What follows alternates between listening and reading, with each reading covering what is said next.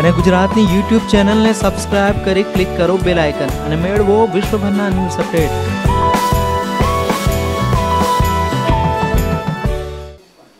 છેલ્લા ઘણા સમયથી નવસારી જિલ્લાના ચીખલી તાલુકામાં બે યુવાનો નકલી નોટ છાપવાનો કારોબાર ચલાવી રહ્યા હોવાની બાતમી પોલીસને મળી હતી. સુરતના રેન્જ આઈજીની ટીમે સઘન તપાસ બાદ ચીખલીના આલીપુર બ્રિજ પાસે વોચ ગોઠવી હતી, જેમાં ચીખલીના દભાડ મોહલ્લામાં રહેતા રિયાઝ ઉર્ફે રિજવાન હારૂન મુલતાની અને અફઝલ આશિફ ગાંચીને દબોચી લીધા હતા. તેમની પાસેથી કુલ સત્તાણું નકલી નોટ મળી આવી હતી, જેમાં પાંચસો અને સો રૂપિયાના દંડની નોટનો સમાવેશ થવા જાય છે.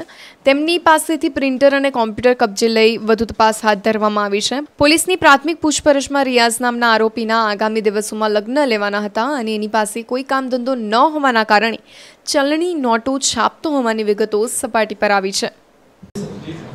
ઓપરેશન ગ્રુપ સુરત પોલીસ મહાનિરીક્ષકની કચેરી દ્વારા ગઈકાલે એક ડુપ્લિકેટ ચલણી નોટો બનાવવા બાબતનો ગુનો શોધી કાઢવામાં આવેલો છે.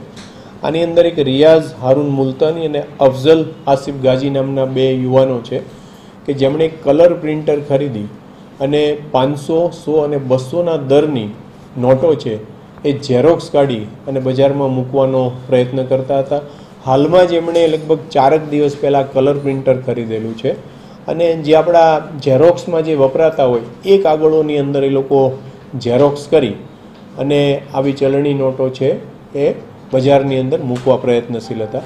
આ ચલણી નોટો છે, એમની જે ક્વોલિટી છે ખૂબ જ હલકી કક્ષાની છે. એમાંનું જે રિયાઝ હારૂન મુલતાની છે એ એની પાસે કોઈ કામ ન હોય અને નજીકમાં જ એના ફેબ્રુઆરી મહિનામાં લગ્ન હોય એટલે પૈસાની તંગી હોવાના કારણે એમણે આ કામ કર્યું હોવાનું હાલ પોતાના નિવેદનમાં જણાવે છે. પ્રિન્ટર પંદર હજાર પાંચસો, પાંચસોની નકલી ચલણી નોટો સાથે બંને આરોપીની અટક કરવામાં આવેલ છે.